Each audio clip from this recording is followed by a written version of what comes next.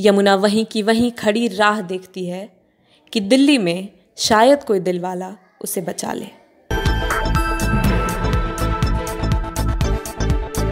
आज मैं ना पाई आपके सामने और बोल भी नहीं पाई कि मैं आकांक्षा चांदना और आज हम उपस्थित हैं यमुना घाट पर।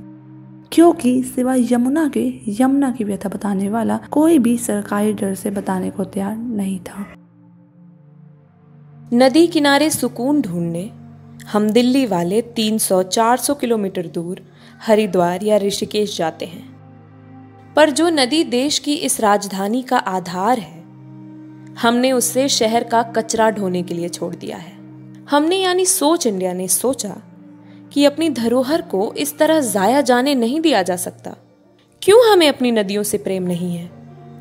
नदियाँ जो हमें पानी देती हैं अपने किनारे हमें बसाती हैं और हमारी तकलीफ़ में अपने किनारे बिठाकर हमें सुकून देती हैं।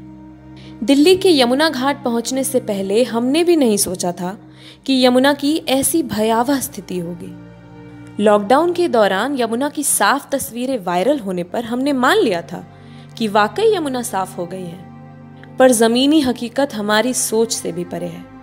नदी से आ रही दुर्गंध इतनी ज़्यादा है कि यहाँ मास्क लगाने के लिए किसी दो हज़ार रुपए के चालान की ज़रूरत नहीं है। इंडस्ट्रियों और फैक्ट्रियों से आ रहे केमिकल्स से बने सफ़ेद झाग ने पूरी नदी को इस तरह जकड़ रखा है, मानो उसका गला घोट रही हो।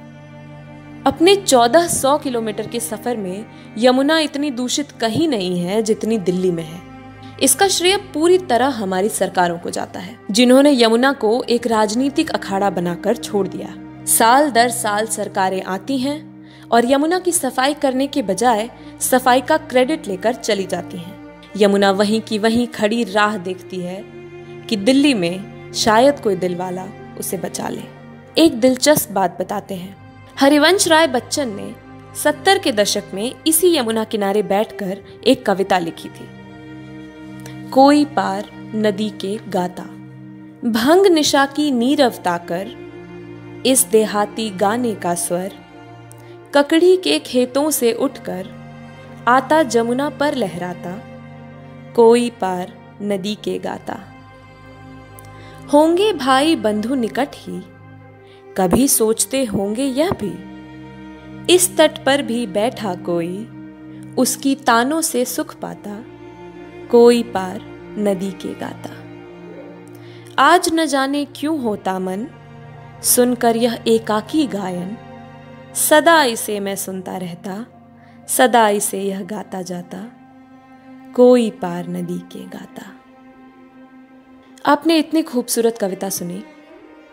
अब आप स्क्रीन पर आ रही इन तस्वीरों को देखिए और कल्पना कीजिए, क्या अब यहाँ बैठकर ऐसी कोई कविता लिखी जा सकती है? पहले लोग यमुना का पानी तक पीते थे। रोज़मर्रा के कामों में इस पानी का इस्तेमाल करते थे। नाविक और मछुआरों की रोजी रोटी इस नदी से चलती थी। और अब हालत ऐसी है कि यमुना के पानी में हाथ भी नहीं लगाया जाता। इसका कुछ श्रेय हमारे अंदर के धार्मिक आडंबर को भी जाता है। नदियों में रोज की पूजा सामग्रियाँ, मूर्तियाँ, राख, अस्थियाँ विसर्जित करने की परंपरा ने पवित्र से पवित्र नदी को मैला कर दिया। आप खुद देखें, परमात्मा को कहाँ कहाँ बिठाने को राज़ी हैं लोग। उस पर से सरकार का गैर जिम्मेदाराना रवैया, जिसे यमुना की सफ़ाई की कोई सुध है ही नहीं। आप अगर एक बार भी यमुना घाट घूम आएँगे तो आपको मालूम चल जाएगा कि वहाँ कभी सफ़ाई नहीं होती। कहीं ना कहीं गलती हमारी भी है।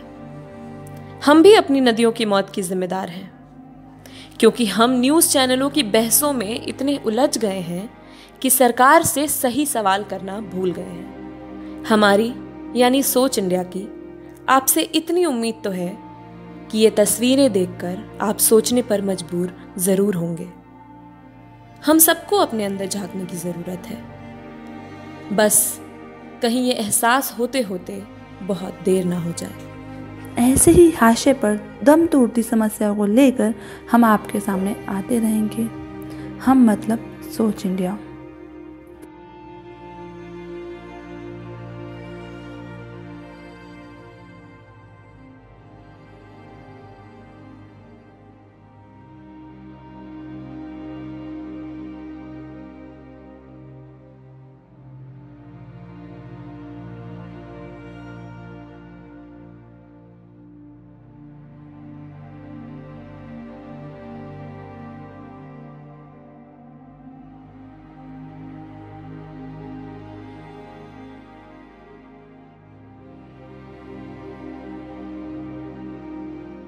है